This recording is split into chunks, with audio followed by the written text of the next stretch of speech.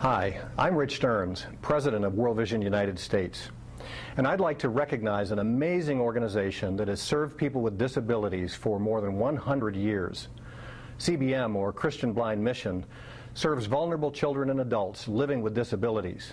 And like World Vision, they work in some of the most challenging places in the world. If you'd like to find out more about CBM or congratulate them on their 100 years, go to their website at cbmus.org.